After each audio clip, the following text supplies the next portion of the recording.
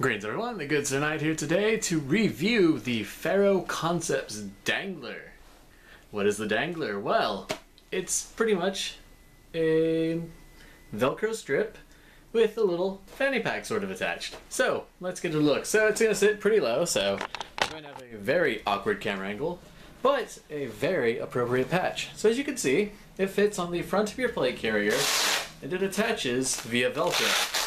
So it attaches right in here, got Velcro on both sides, and fits nicely at the bottom of your plate carrier. So, without getting in the way of what extra magazines and stuff would get in the way of when you're attempting to vault over and climb things, it sits quite comfortably right in front of you. And it doesn't really swing around or fly too much. It has a little bit of a flip, but it all comes down to what you put in it. So right now this one's set up pretty light, but as you can see, on the front there's a good patch of Velcro available so you can put any patches on there you might need. And from the left side, little squishy pull tab.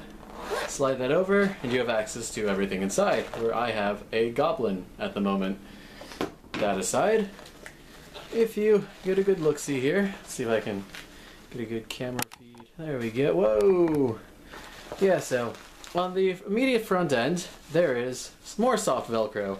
So that if you Velcro anything, like say some Surefire earplugs, they can be velcroed to the immediate front side for organization purposes.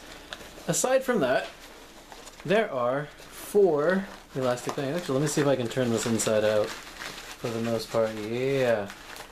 So as you can see, there are four elastic bands that enable you to put things through. I've got a little eh, recon flashlight in here with four different light colors. So for signaling and everything, and you can basically elastic band anything through here that you need. And that const constitutes the back end. And outside of that, that's really all there is to it. So this is actually a unique built little piece of te technology from Canada. So yes, our more uh, maple syrup inclined friends have made some pretty awesome things. And on the back end, there's not a whole lot. There's actually nothing. So, there you have it. So, basically, adding a easily accessible little fanny pack pouch without the need of a fanny pack. And since it doesn't attach to any belt or something when you crouch down or anything, it just sort of dangles forward. Hence the name the Dangler. And you have access to it at all, whoa, all times. So, quick, if you really want a quick, easy access way to your goblin without wasting any additional molle pouches, or molle pouches, molle positions, molle real estate, uh, yeah, you have a little dangler option. You could throw anything in there. You could throw an extra tourniquet. You could throw some uh, bandages. Anything and everything. A small, uh, small toolkit if you do some sort of bomb defusing or something crazy. Although, I'll be honest, I haven't diffused a bomb. At least not one that didn't have like a wick that you just cut free from fire. So, yay! Fireworks. All that aside, I think I think it really does need a solid patch to bring out the whole Dangler experience. So, without a dicks out for Harambe patch, who knows? But it's a fantastic little addition. Now you might be wondering why the colors don't match. Coyote tan, coyote brown. Different words, different uh, uh, what's the word I'm looking for? Different colors, basically. So, sandstone and know, desert dirt. Not really desert. I don't know. Woodland. What?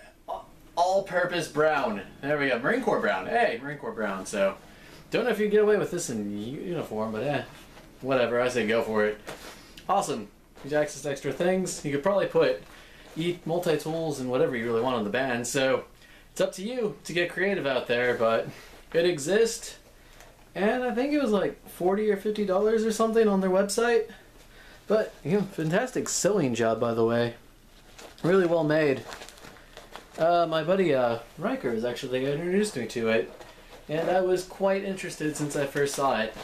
And yeah, fantastic little piece. And if you're playing airsoft, let's go out of the real world for a second. Let's go into airsoft, which you can do legally and generally come back from without all sorts of fun war stuff.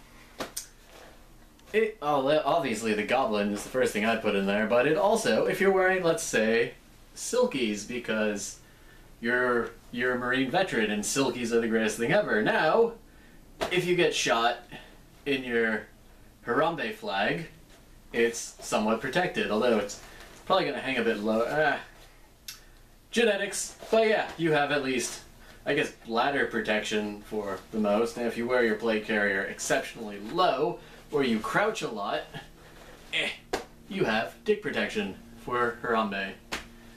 Praise be. That's all I got for you guys. So, interesting little piece. I'll put a link to the description in the description if you guys are interested in purchasing one for yourself. They do come in different colors, and they are absolutely fantastic. So, cheers everyone. See you in the next video. If you have any questions, just let me know. Cheers.